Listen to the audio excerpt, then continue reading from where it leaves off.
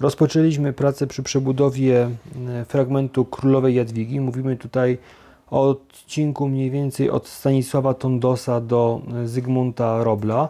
Pracę, które rozpoczęliśmy, rozpoczęliśmy na ulicy Borowego. Tutaj mamy takie skrzyżowanie Borowego, Korzeniowskiego z Królowej Jadwigi i najpierw pracę realizujemy na Piotra Borowego. Kolejny etap, który będzie przed nami, to będą prace na Królowej Jadwigi i tutaj zaczniemy od takich mniejszych, około 25-metrowych zawężeń i ten etap drugi nałoży się na etap pierwszy. Później, prawdopodobnie pod koniec lipca, bo to chcemy też koordynować z pracami na moście na Piastowskiej, e, będziemy wchodzili na etap trzeci, czyli etap trzeci zakłada już większe utrudnienia na ulicy Królowej Jadwigi, około 150-metrowe zawężenia z ruchem sterowanym światłami. E, wszystkie prace to około 9 miesięcy i dotyczą one zarówno prac drogowych, jak i prac wodociągów, ponieważ wspólnie ta inwestycja jest realizowana i finansowana. Szczegóły dotyczące inwestycji oraz aktualnych utrudnień można znaleźć na stronie internetowej zdmkkraków.pl oraz w aplikacji